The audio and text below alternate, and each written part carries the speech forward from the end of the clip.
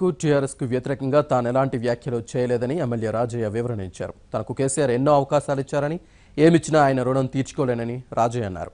మంత్రివర్గంలో మాదిగలకు స్థానం కల్పించడం లేదంటూ రాజయ్య నిన్న బహిరంగంగా అసంతృప్తి గళం వినిపించారు.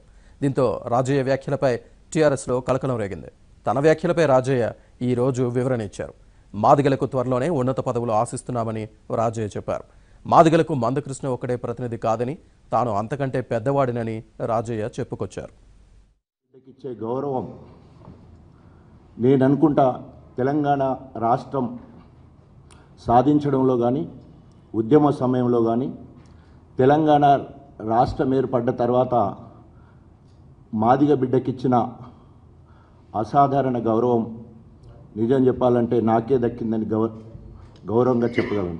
సో నేను ఊహించండి కళలో కూడా అనుకుంది ఒక మాదిగ బిడ్డగా నన్ను గుర్తించి ఈ రాష్ట్రానికి తొలి ఉప ముఖ్యమంత్రి చేయడం నాకు ఎక్కడ కూడా ఎప్పుడు కూడా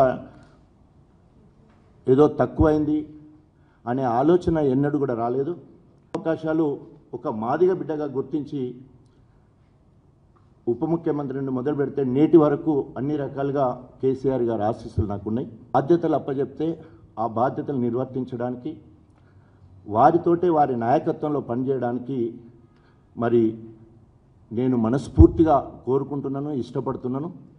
నాకు ఇంతకంటే గొప్పగా ఈ రాష్ట్రానికి తొలి ఉప ముఖ్యమంత్రి నాకు ఇష్టమైన వైద్య ఆరోగ్య శాఖ నాకు అప్పచెప్పడం జరిగింది. ఆ రుణం తీర్చుకోవడానికే నా జీవిత కాలం అంతా కూడా పనిచేస్తాను. అదేవిధంగా ఇక ముందు కూడా కేసీఆర్ గారు కేటీఆర్ గారి నాయకత్వాలను బలపరుస్తూ వారి ఆదేశం మేరకు నాకే బాధ్యత అప్పచెప్పినా కూడా ఆ బాధ్యతను నిర్వహిస్తానని మీ అందరి ముందు మరి తెలియజేస్తున్నాను.